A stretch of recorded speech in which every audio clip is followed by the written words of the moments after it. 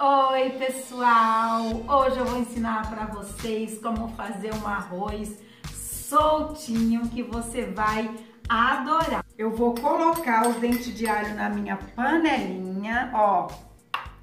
E aqui eu vou acrescentar duas colheres de óleo de milho. Só que é, é que eu uso aqui em casa, né? Você pode usar o óleo que você tem aí na sua casa. Ó, são duas colheres do óleo. Ó, pessoal, essa xícara de arroz eu já uso ela para medir a água.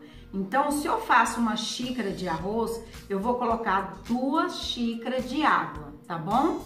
Bora lá fazer o nosso arroz. Agora nós vamos deixar dar uma douradinha aqui no alho pra gente acrescentar o arroz. Meu alho já está douradinho. Vamos acrescentar agora, ó, o nosso arroz que já está lavado. Eu já lavei.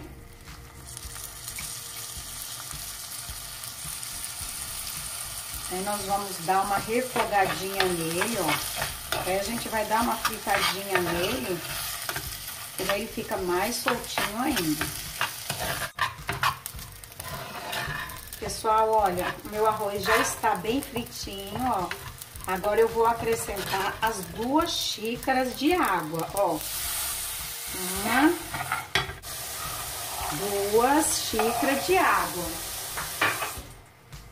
E vou colocar uma pitada, não é uma pitada, uma colherzinha pequena de sal. Eu não vou falar a quantidade do sal, porque tem gente que não pode comer sal, né? Então, eu ponho assim mais ou menos pra mim, né? Então, ó, o sal. Tem gente que não pode comer é, comida muito salgada. E aí eu já volto com o meu arroz prontinho, tá bom, pessoal? Pessoal, o meu arroz já está pronto. Olha para isso aqui, ó. Soltinho, maravilhoso. E essa panela, ela deixa quentinho por mais tempo. Olha que delícia! Vamos pôr uma colherzinha de arroz aqui pra gente provar.